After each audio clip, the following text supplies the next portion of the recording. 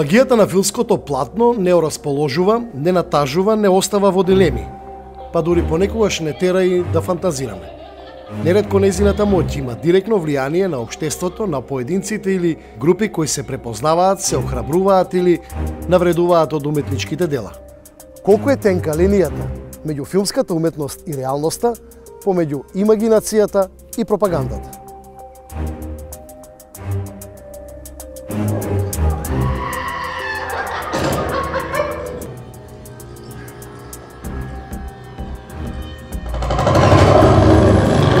Тебе може да ти биде убаво или грдо, возвишено или ниско. Јас исто такви категории за уметност и култура очекувам и од министер за култура.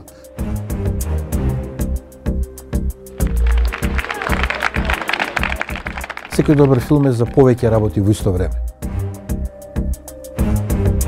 И кога македонец прави филм во кој што македонецот е херој, а да кажам албанецот е тој што не е херојот, тогаш е нешто веднаш сомнително.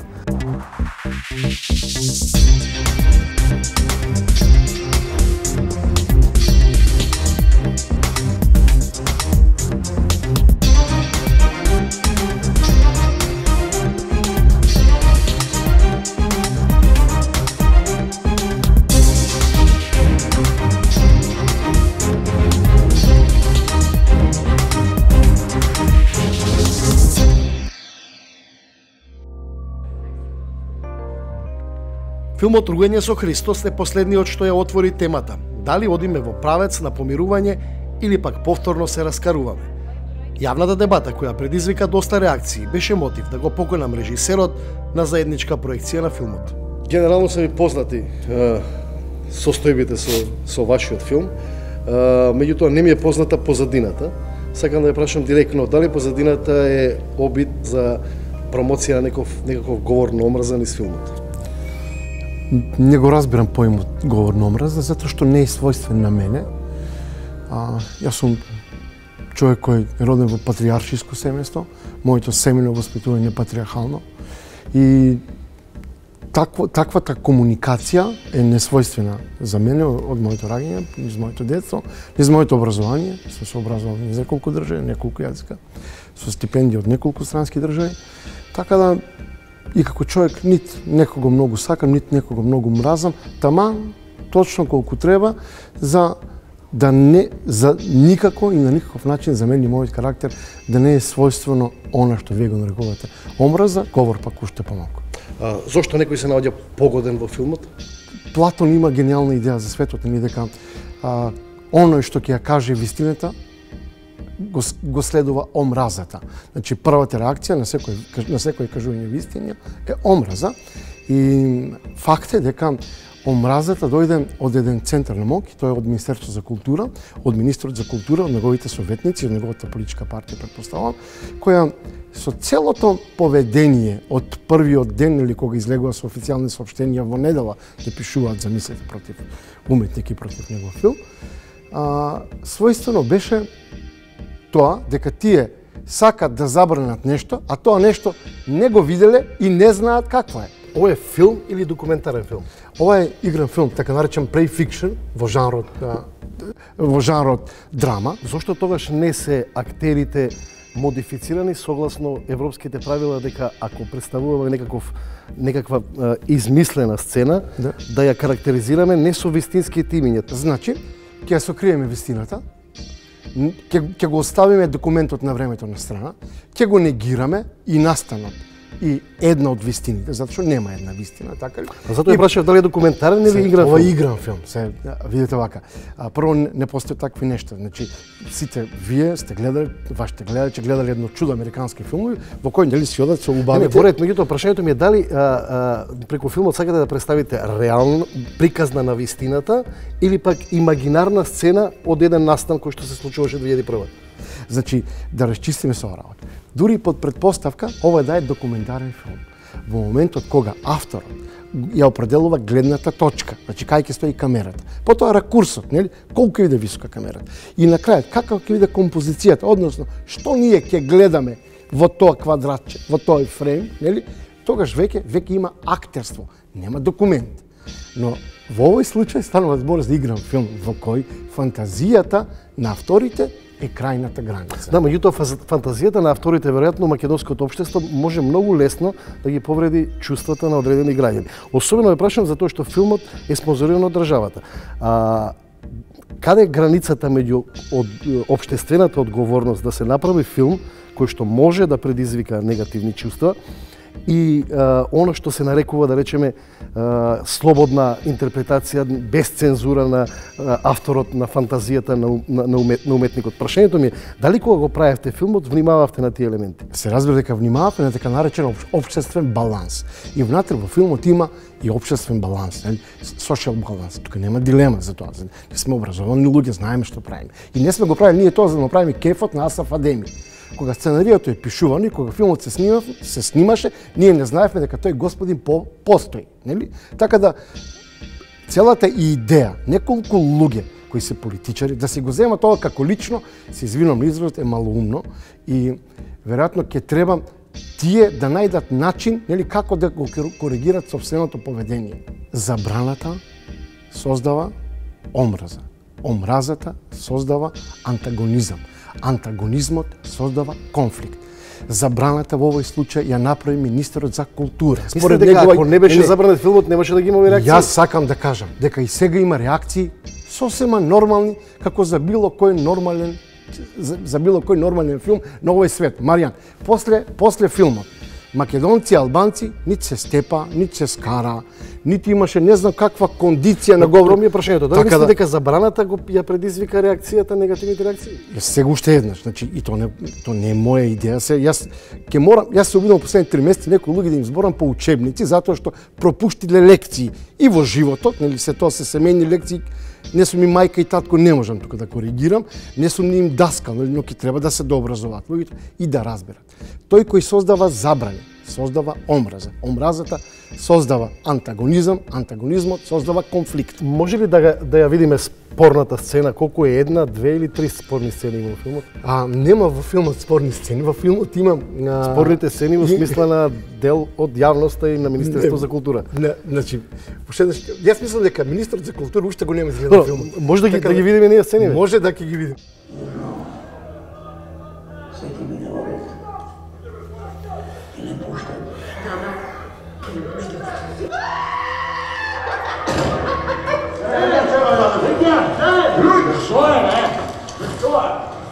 Karalju koliko meči? I meči kao?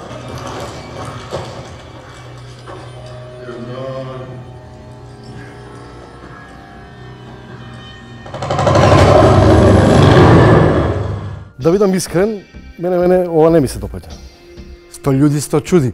На крајот на, на краиштата, на уметноста, не позна поим допаѓа или не. За жена може се каже дека се допаѓа или не. Значи уметноста има други категории. Убаво, грдо, возвишено, ниско. Значи тебе може да да биде убаво или грдо, возвишено или ниско.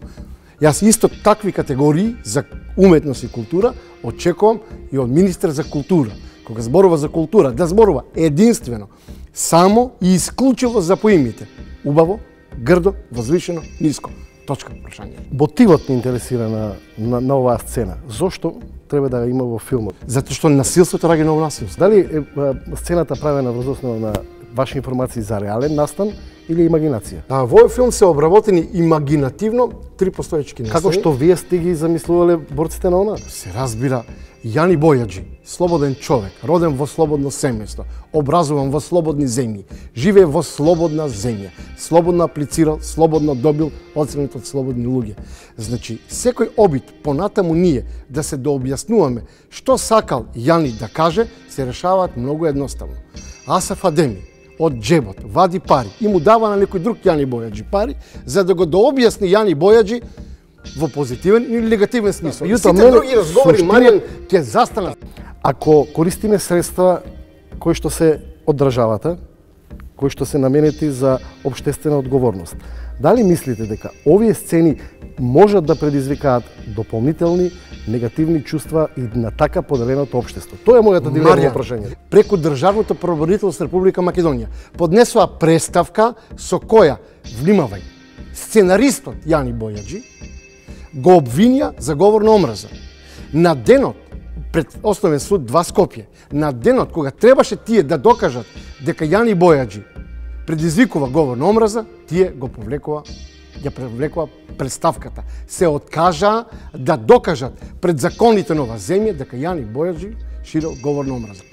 Последно прашање. Зошто филмот се вика Ругање со Христос? Која е пораката тоа? На, на филм, насловот на филмот е цитат од фреската Ругање со Христос кој се наоѓа во манастирот Свети Ѓорги во Старо Негоричане Кумановско. Која е поврзаноста на ругањето со Христос со оваа сцена? А, никакво се разбира, затоа што филмот, овој филм е Тоа е комплексен. веќе полесно. На филмот раскажува четири приказни кои се во взаимна врска, во единство. Една од приказките е посветена на на распитието на современиот човек и дека ние како денес како како луѓе не можеме да се носиме со со распитието во христијански смисол, тоа што народ го вика не сме кадарни да си го носиме крстот. Значи, една од приказките е посветена на тоа. Имено не случајно клучната сцена во која овој филм во кој еден еден еден син е во потрага по таткот, еден татко е во потрага по Бога, нивната прва средба во животот после 50 и кусор години ќе се случи во тој манастир пред фреската Ругањето на Христос. И па ќе прашам, во таков еден филм, како убава приказна од дел од филмот, која што мене вака ми изгледа симпатична, не ја гледам поентата зошто би имало оваа сцена во филм. И па затоа што ти не си уметник, не си режисер, Асаф Адеми не уметник, не е режисер. Има една убава приказка на за крај морам да ја раскажам.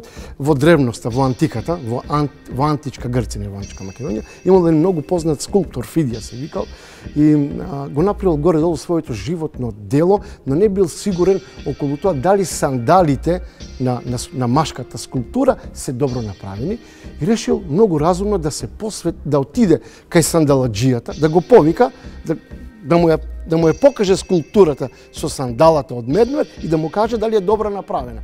Дошол сандаладжијата и му кажа, леле мајсторе, супер, ама то коленото баш не ми се допаѓа. Фидија му кажа, ти држи се до сандалата, за коленото ќе се викнам хирург. Ова е приказната на Јани, но реакциите во јавноста се појавија по одлуката на министерот за култура да го стопира филмот. Мојата следна адреса е токму Министерството за култура.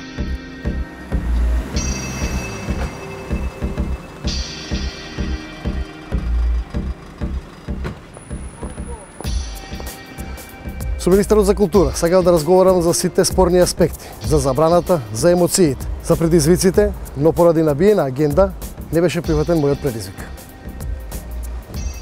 Од независноста на Македонија до сега македонската кинематографија ја одбележаа неколку филмски остварувања. Во речиси сите, преовладуваа сцени кои беа некаква слика за нетрапеливост меѓу верски или етнички групи во државата. Честопати сцени во кои сосема поинаку представени некои авторитети или личности од она што е општа перцепција во јавноста. Деновиве во Скопје Милчо Манчески ги снимаше последните сцени од својот најнов филм. Мислам дека тоа е соговорникот од кој можам нешто да дознаам. Милчо на пат си за уште еден филм. Што е мотивот на новиот филм? Филмот се вика Врба, две љубовни приказни кои се пресликуваат и се контрастираат. Едната е средновековна, другата е современа, ама луѓето се слични, луѓето се се исти секаде и, и, и, и секаде во светот и секаде во времето. Така да а, Врба тоа го кажува. По преден план е негативности на општеството или пак љубовта е во преден план? Јас се бавам со луѓе. А, обштеството е фон и обштеството е а, нешто за што се а, се зборува или се слуша додека се зборува за луѓето. Така да во прв план се луѓето и нивните а, радости, желби, болки, таги, љубовта. Пред дождот е филм за љубов или филм оно што ве прашав предходно за е, е, етнички некаков конфликт меѓу македонци и албанци, пошто нели мотивот за бранетата љубов ако ја гледаме дефинирано. Па јас се надевам дека би можел да кажам дека пред е добар филм, а не дека е филм за едно или за друго или за трето. Секој добар филм е за повеќе работи во исто време. А, за мене во во основа предождот е љубовен филм кој се бави со други филозофски и, и ако сакате и обштествени прашања. Меѓутоа во суштина е за луѓе и за, за три љубовни љубовни врски, за три е, љубовни моменти кои се испреплетуваат. Ако сакате пред дождот прави ехо на постоечки архетипови и архетипот од првата приказна, архетипот на Роме, Роме и Јулија, на забранета љубов на две групи кои меѓу себе не се сакаат, ама младите од тие две групи се сакаат. Мислите дека, а, односно хипотетички, може ли филм во обштества како македонското да предизвикаат а, дополнителни а, страсти меѓу различни етнички заедници, односно да се дефинира како повреда на некакви етнички чувства? Мислам дека премногу големо значење му се му се придава на филмот воопшто како медиум, ако сметаме дека можеме дека еден филм може да создаде етнички или било каков друг конфликт. А, може би може да да придонесе кон создавање на моментален конфликт.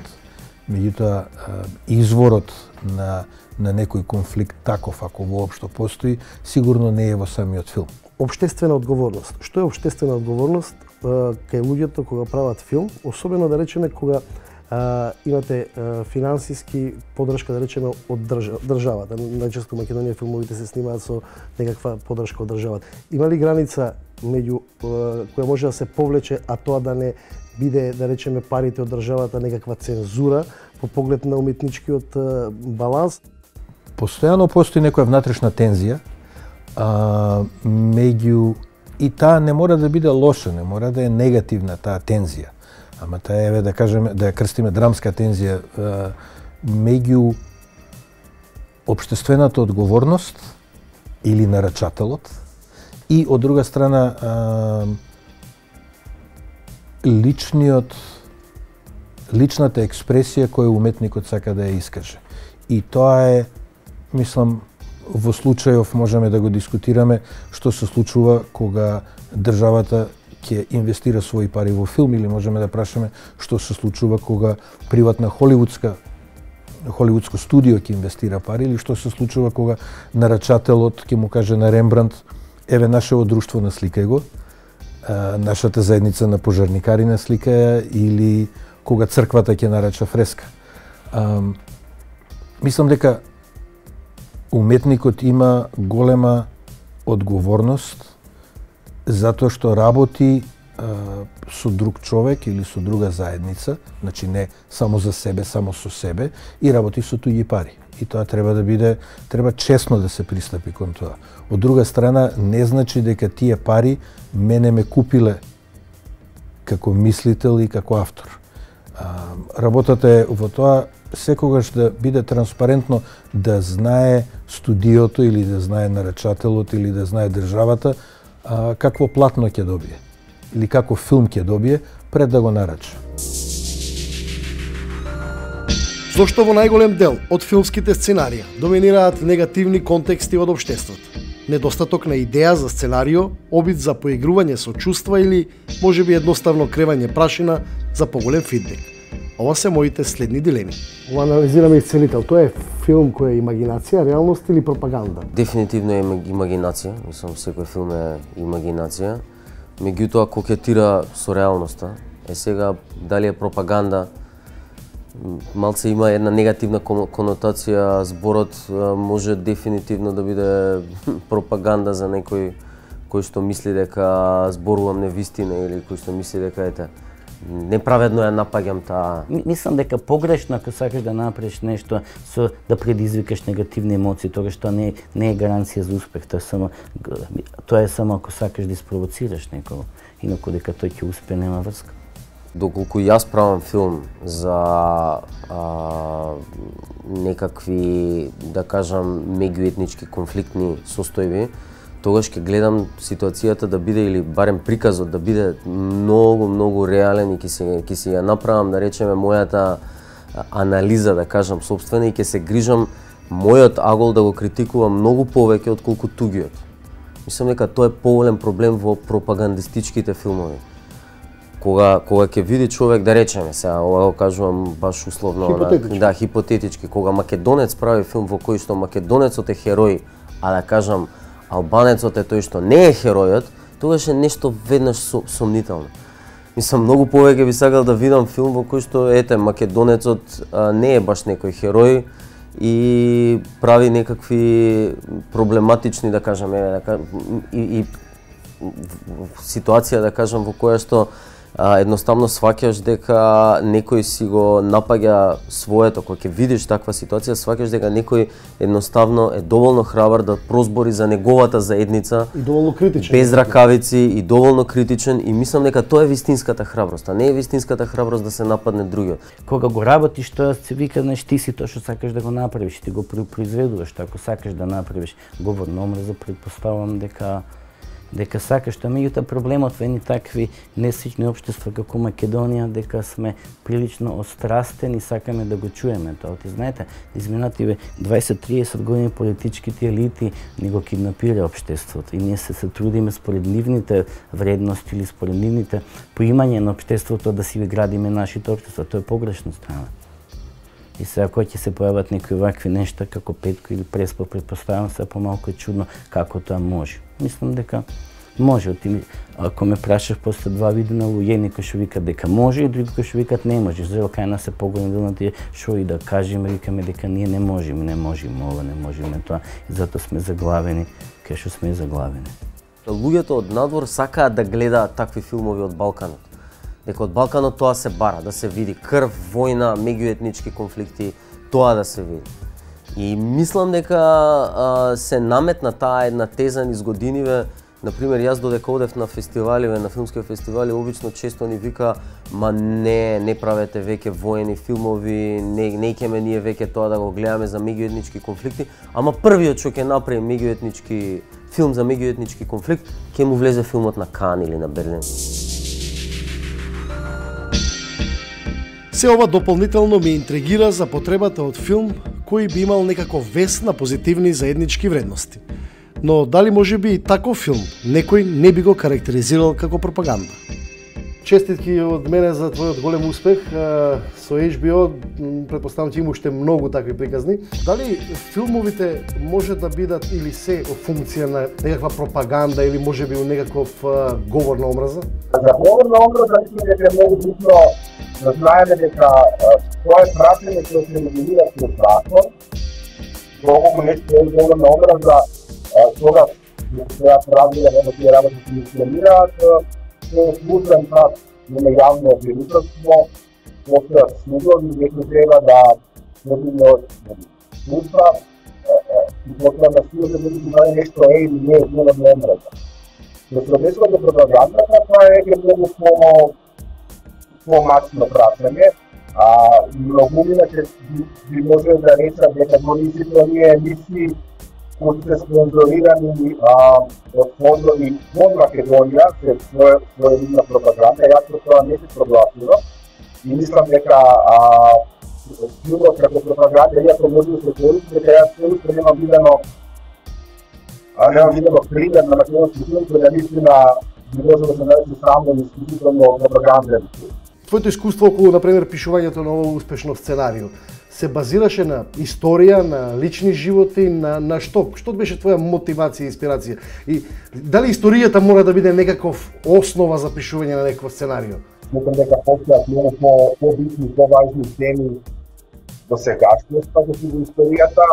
А, јас прво допишував за серијата Успех, која ќе на HBO наскоро, својата инспирација ја бара во животот кој го живеам денес овде во Загреб, во животот кој го делам со моите сограѓани.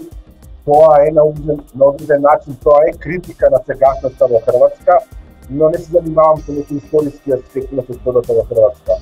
А причината зашто историските теми ми се битни, мислам дека треба да ја бараме во тоа зашто Македонија една од најтие evergreen теми за секој младеж, со кафе, со пиво, во филм, во книга, на училиште, на улица, секој секогаш што за историја се фаќаме, Јас не знам дали не е многу битна или, или сме едноставно навикнати за тоа да расправаме, бидејќи тука нешто или не ни е јасно или не ни е до крај а, разбра. И што е тоа обштествено одговорна личност во филмската индустрија?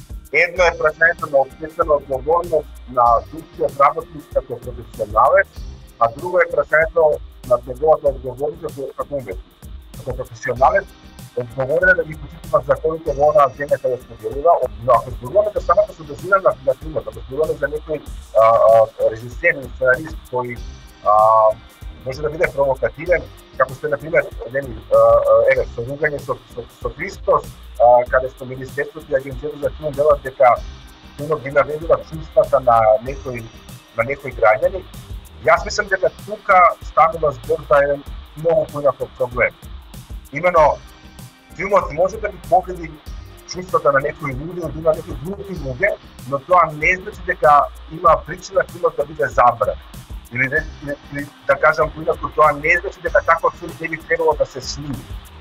Цело дека не станува спор за говор на омраза, кој е регулиран со закон, и ругање со Христос и било кој друг филм кој на некому не се попаѓа, едноставно мора да постои, да биде јавно приказан, да биде јавно критикуван, да знаеме за што зборуваме. Најголем дел од филмовите во Македонија се снимени со финансиска подршка од државата. Главната дилема останува колку државата знае да оцени што е обштествена одговорност при оценувањето на сценаријата кои аплицираат за финансиска подршка. Знае и мора да знае државата која финансира, зашто Агенцијата за филм е основана од владата на Република Македонија и таа троши јавни пари, значи пари на граѓаните на Република Македонија. И тука мора да се води е, сметка за што се финансира. Прво треба да биде квалитетот на сценариото, оригиналноста, да биде контент или содржината, да биде начинот на, на кој е тоа раскажен и да биде филмот со хуманитарна, универзална порака, да може да се разбере и во Македонија, и надвор, и во Европа, и надвор од Европа. Ние имаме еден голем проблем што фалинката е во, во законот за филм а, единствена земја што имаме само закон за филм, а немаме закон за аудиовизуелни дејности е Македонија. И ние имаме задача во 2019 година, тој и во програм на владата и на Министерството за култура, во 2019 година да изготвиме современ европски закон за аудиовизуелни дејности, кај што ќе припаднат и филмот, меѓутоа и телевизиите и се она што е од аудиовизуелен карактер. Во сите закони има еден збор и една една деј, действие едно кое се вика колаудација. Тоа значи, рецензентот го читал тоа сценарио и прв го гледа филмот кој е во завршна фаза. И гледа дали на тоа сценарио што е пријавено одговара со она што он го гледа на платно. Ние тоа го немаме. И кај нас што може да не се случи? Сценариот извонредно, добро напишано, а снимано, додадено нешто повеќе или нешто помалку. И тука е Тој, тој е проблемот. Она што го имавме проблем наскоро со, со последниот а, филм, нема а, цензура, нема а, а, контролирање на авторството. Нема, не постои таа работа. Меѓутоа, има одговорност за трошење на јавните пари. Не само кај нас, тоа е во цел свет. Значи, мора да се има некој морал, мора да се има некој чувство. Вашите политички ставови, може вие да ја критикувате владата, да сте незадоволни, од, од милион работи. Меѓутоа, не може да ширите говор на омраз. Тоа е недозволено. А не можете вие да направите филм ако со цел регион вас ве, ви прае сукоп. Зашто е тој филм? А ако е се она што е уметничко издржано, а не е партиски или политички памфлет, тоа може да иде. Меѓутоа, ако вие намерно или да кажам воопшто не го пишува во сценариото, а вие си додавате сцени кои така вие мислите вашиот политички став го изразува или партијата која ви го дала филмот, тоа тоа нема и тоа се стопира и тоа нема да биде. Додека седам јас тука, таква работа нема да дозволам и мислам дека тој период за она вие што зборувате се слагам и мислам дека престана тој период. Ми имавме и, и свеше примерот со, со, со ругањето на, на, на Христос, а, пред тоа имавме филмови кои не ги пуштивме да се снимаат, Зашто имавме исто проблематични, имавме филм за цар Самуел, имавме филм за Александар Македонски не, не, и други некои овакво филмови, кои а, филмскиот совет Моето мислење и, и, и пошироко моите консултации беа дека тие многу лошо ќе ја представат Република Македонија. Ни една земја не прее такви филмови кои би треба. Ја покажуваат убавината на земјата, ги упажуваат начинот на размислувањето. Може би може да биде се поинаку од она што сме навикнале. Само треба да се обидеме. Јас филмовите ги разбирам како забава и рекреација. Историјата може би може да се екранизира, но важно е да се гледа од нашата страна, од истата страна. Се гледаме следната недела.